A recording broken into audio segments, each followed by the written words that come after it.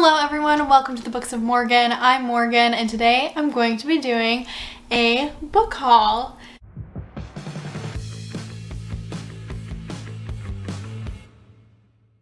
Now, I was going to do like a seasonal book haul, like a summer type thing, but these are all actually books that I bought during quarantine. So this is my quarantine book haul, so welcome. um, it's been like, I think three months since I filmed my last book haul. I've accumulated 17 books since then. I've also gotten rid of like 20 books. So like there's room on my shelf. I don't feel that bad. Or at least I'm trying not to feel that bad. So um, yeah, I unhaul books a lot. You probably saw my unhaul um, that I posted on here. But I buy new books and I like to keep my physical collection to less than 200 books. I mean, I really try. Um, but maybe one day I'll have one of those amazing, like fabulous libraries that you see in like Beauty and the Beast, but I'm not there yet in life. So this is what we got. the first few books that I want to show you um, are actually book of the month books. And I want to show you these books because I'm excited about these books. But I do feel like I need to put a little bit of a disclaimer out there that yes, book of the month has um, been very problematic. They have not been highlighting as many diverse authors. They've been blocking people on social media who bring up these concerns. And honestly, it's very disappointing because I love Book of the Month so much. Like, genuinely, like, I really enjoy their subscription services. I think the books that they do put out are really awesome. So to see all this drama unfold recently has been really disappointing and I'm hoping that they fix their errors and they learn from their mistakes.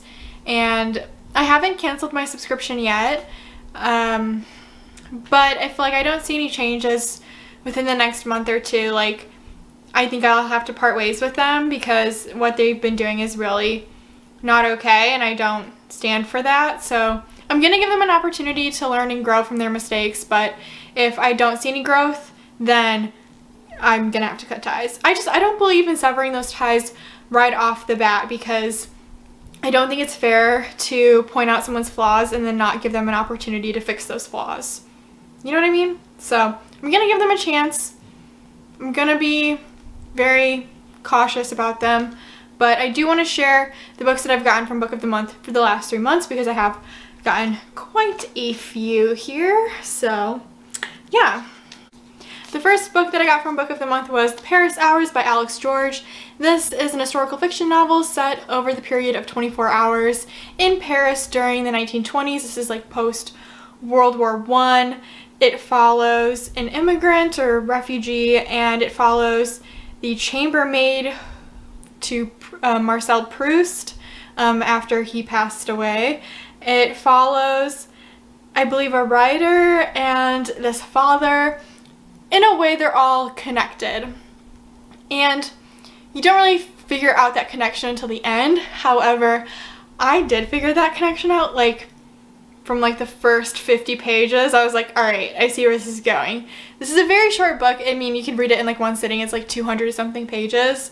Um, so it is like a very quick historical fiction novel if that's something you're looking for. I did give it four out of five stars. I thought it was really um, well done for me, like the way that things were connected was just too predictable, but I think others might find that really, they might find that better because like I know some mysteries make people anxious, so I don't know. I think this book was good, although I think there's a few cliches here about 1920s France, like Hemingway makes an appearance here and other famous people from that era. Gertrude Stein is also in this. I think it would have been better if um, Alex George had just stuck with um, characters or people from the 1920s that we might not have seen because everyone talks about Hemingway and Gertrude Stein and all those people. So it's like, it's not really original. But I mean, okay, if you want to be thrust in this world, you will be thrust into it. 1920s Paris. Like, it does its purpose. So, yeah. I give it 4 out of 5 stars. But I'm not doing a... I don't know why I'm doing reviews. But here we are. I also got Beach Read by Emily Henry. This book, oh my gosh, I love this book so, so much. Like, so good. This is a romance between two authors, Augustus and January. and it's enemies to lovers, but then they kind of like bounce off each other ideas and writing and all that stuff. And they're at this Lake Michigan spot, vacation spot. I mean, okay, so they're at these lake houses on Lake Michigan, in Michigan, and they're neighbors, and it's so good. Like, I love enemies to lovers. It's my favorite trope in romance books, and this one is done very well. Um, if you need a summer read that's really cute and also fun and about books, this is the perfect book. Like, honestly, this is the perfect summer read, and everyone should go and get it because it's awesome. I also got the book Normal People by Sally Rooney. This is one of Book of the Month's older books, but I wanted to add it onto my um, boxes, and I'm so glad I did. Oh my god, this book is amazing. I bought it because of the hype, I'm not gonna lie. The TV show came out. This is a thing that's happening. This book is so good. It is a romance between Marianne and Connell. They meet each other in high school, then they go to the same college together, and it's their on and off relationship in Ireland. It's so good. Like, I don't even know like what I would do without this book. It's so good. I just, my whole heart. Ah, this is like so good and everyone needs to read it. I don't even want to watch the TV series now. I'm like, if I watch anything, it's gonna like ruin my images in my head that I came up with for this book. So I'm just, I'm not gonna touch it for now. I'll have to wait a while. So good. Alright, the next books that I got from Book of the Month I have not read, but I am excited to read them. Um, I got Happy and You Know It by Laura Hankin. This is really outside my comfort zone. I think this is like a women's fiction novel, honestly, or maybe it's romance. I don't know. It comes from Berkley. But this follows a woman who is like a child's entertainer like she's like a children's musician and she gets hired for a lot of like kids parties by these elite moms in New York City and it's kind of like real housewives and I don't know, like children's music combined and it's apparently crazy, full of drama, and I'm excited to read it, but this isn't normally something that I would pick up, so I am curious to know how I'll feel about it, but I love the Real Housewives of New York City, so I'm hoping I get all the drama I need from this book. I got another book that is really outside my comfort zone. It's a nonfiction memoir, which is not something I typically enjoy reading, but again, the hype got me, and that is Untamed by Glennon Doyle. Um, I'm not really sure what this is about other than the fact that Glennon Doyle is this creative writer. She's also part of the LGBTQ community, so I think there's some stuff about that in here. Um, I've heard it's really sharp and witty and you can get a lot out of this book. Someone told me like you should have a highlighter on hand when you're reading this because there's so many good quips in here. So I'm definitely looking forward to that. Um, I don't typically like self-help, like memoir books because I'm like, I don't know, it just gets really preachy. So I'm hoping that this one offers valuable advice or just like valuable comments to life. So I am, again, looking forward to reading this. And I couldn't not get it because the cover is stunning. Like, oh my god. I love the glitter. I'm a sucker for glitter. So wanted to get that. Even if I don't like this book, I'm gonna keep this on my shelf because it's absolutely freaking gorgeous. And the last book of the month book that I have received is One to Watch by Kate Stayman London. This is essentially The Bachelorette, but like a little bit different. So it follows this woman who's a plus size girl and she's like the bachelorette and she has all these male contestants and she's really using the platform to like you know, what is it, to like bring awareness and bring attention to like different body types and different types of women out in the world. So she's like, I'm not gonna find love. Like, I'm just here to like support my brand. Like, this is, I don't really care about finding love. But then I think she does find love, so this is crazy the whole book. So, I don't know, I haven't read it yet, but I love Bachelorette. I love The Bachelor. Okay, I don't know. I haven't loved it recently. Bachelor in Paradise last season was phenomenal. So, that's what I'm putting my money on. Like, I don't even care about Clare Crawley, whatever. I'm very excited for Matt James. Like, hello. Yes, The Bachelor. Let's skip Clare's season. Let's go to Matt James. That's all I'm saying. But I am missing Bachelor Mondays and I would really like to read this book to fulfill that. Okay, the next few books I got from various bookstores. Um, so during quarantine, like I did want to support small bookstores because I know that they are really struggling right now with all of this. Um, I know that they're open pretty much now, but before it's like the only way that they could make sales was through online orders. So there's two bookstores that I did end up supporting um, during this time. The first one being Capitol Hill Books in DC. You basically fill out a form and they curate books especially for you. You give them a price of how much you want to spend and then they'll send you books. You can either do a mystery box or you can do um, like you know what you get inside and then they'll send it to you. Um, so I actually did the mystery box and I got four books but one of them I'd read so I passed it on to um, my boyfriend because I think he would really like it so I gave him that book but um, yeah so I, I have the other three books that I got and I like basically told them I love romance, I love vampires, I love you know, fantasy books and magic and all that stuff. So that's what I was feeling in the mood for. And they gave me The Vampire Chronicles by Anne Rice.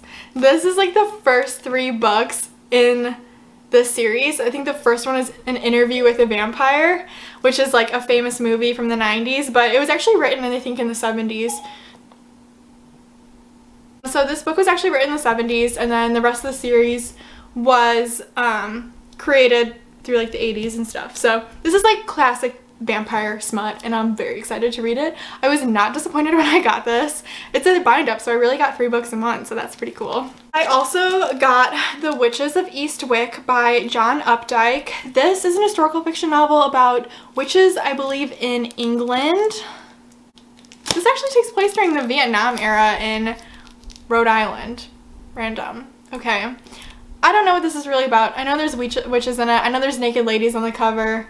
And I was pretty much sold after that. So, like, I'm excited for it. And then the book that they did give me that I already owned was Children of Blood and Bone by Tomi Adeyemi. Um, I read that one. But they also sent me Children of Virtue and Vengeance, which is the second book to that um, duology. So I didn't have this and I'm wasn't really thinking I was going to read it, but now that I have it, I'm kind of excited about it. This is a YA fantasy series inspired by West African magic.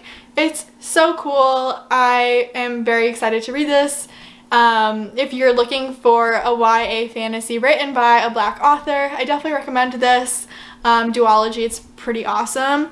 Um, but yeah, this is the sequel to it. I heard it, it's not as good as the first one, but we'll see. I also heard that Tomi Adeyemi actually sold the rights for it to become a movie, so hopefully we see something like that in the near future. That would be very cool. But yeah, this is the other book that I got from Capitol Hill Books. Another bookstore that I ordered from was Semicolon Books, um, which is the only black owned bookstore here in Chicago. So I wanted to support them during this time and I think they actually like sold out of books like completely um, which is so cool.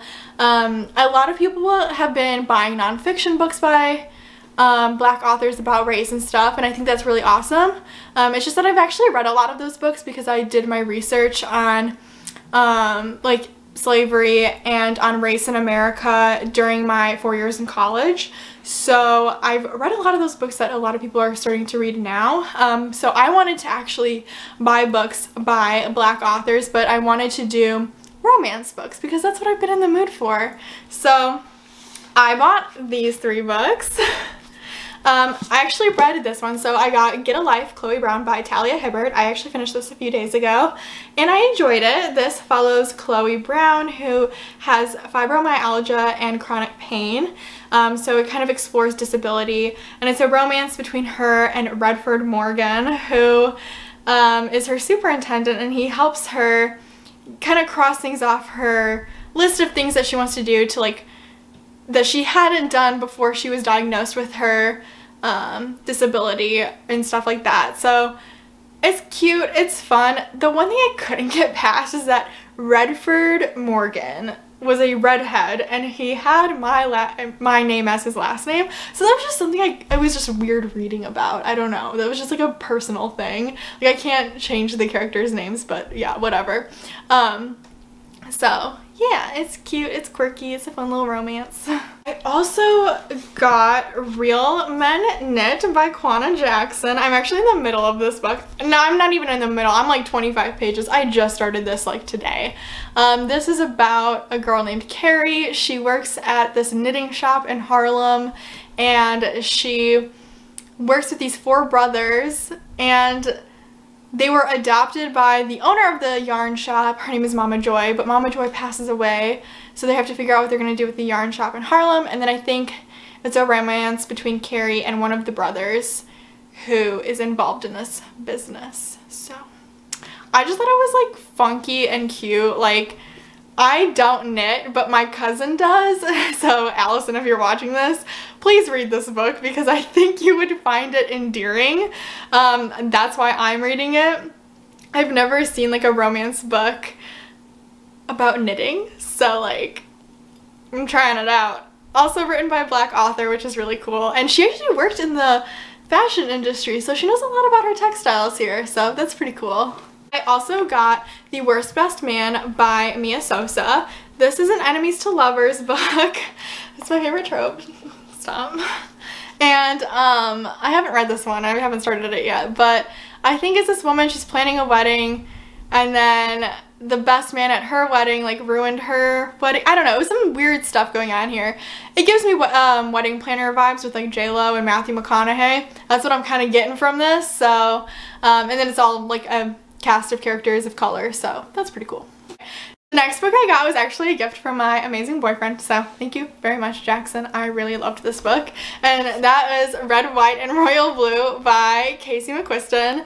This is such a good romance book, and I'm so glad Jackson bought it for me because I was like, I wasn't to buy this for myself because I didn't think I would really care for it, but it is so good. Like, this follows Alex Claremont Diaz and Prince Henry so Alex Claremont Diaz is the first son of the United States and Prince Henry is the Prince of England and it's their forbidden love and romance. And it goes enemies to lovers because they hated each other at first but really it was masking their love for each other and all those suppressed like queer feelings they had for each other. And I just loved this so much. Like the smut alone 10 out of 10 like oh, and Alex and Henry are just my babies. Like, I just want the best for them and I don't want anything to hurt them. And it's so good. And if you haven't read this book, go buy it right now. It's Pride Month. Go do it. And this is the best book ever. Okay. That's all I got to say about that. Okay. The last um, few books that I have here are books that I got from Amazon. And I know that Amazon is evil, so please don't hurt me too much. It's just, it's convenient. Two-day shipping, man. I'm a Prime member. Like, I know Amazon is evil, okay? It's just books are really cheap on there and I do feel bad about it, but I wanted these books.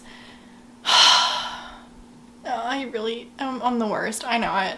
I know. I know I'm the worst. But here we are. okay, the first book that I got from Amazon, Crescent City by Sarah J Maas. It's like, I don't even want to read this book, guys. I don't. Why did I buy this book, you might ask? Because I've read every other Sarah J Maas book and I'm like, well, it's quarantine. I should have all her books. Also, my friend Jenna, my cousin Allison, and a variety of other people have told me I need to read this, but I'm not looking forward to it. It's 800 pages. It's new adult fantasy, or is it adult fantasy? Who the frick knows? Like, I'm I know I'm gonna hate it. Like I just know I'm gonna hate it. So I don't know why I bought this, but I have it. You know what? I should do a reading vlog of me reading this garbage. But I still love Sarah J Maas always and forever.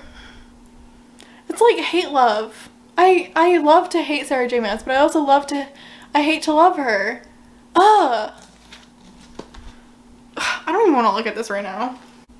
Alright, on to more positive books that I got. So I also got a book for my book club. So this was our this is our June pick. I haven't started it yet, but I still have time. And that is The Giver of Stars by Jojo Moyes. This is an historical fiction novel set during the Great Depression. It follows a British woman who marries an American man and they move to Kentucky. And she's one of those like library people. She like brings books to poor people in the Appalachia region and stuff. So I'm interested in this. I've never read a Jojo Moyes book. I know she's like a very well-known historical fiction and romance writer. So I'm curious to see how I like this book. It's not something I would normally pick for myself, but it is from the Reese Witherspoon Book Club, and I tend to like those books a lot, so I have high hopes for this. And the last two books I have are romance novels. One of them is The Tourist Attraction by Sarah Morgenthaler. Morgenthaler? Morgan? Something. Books of Morgan. Okay, anyways, this is the tourist attraction.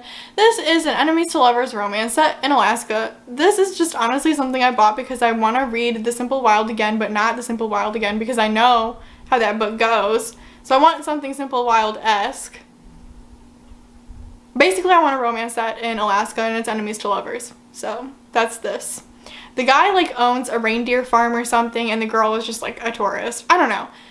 I just, I want to read it. I, want more Alaskan romance books.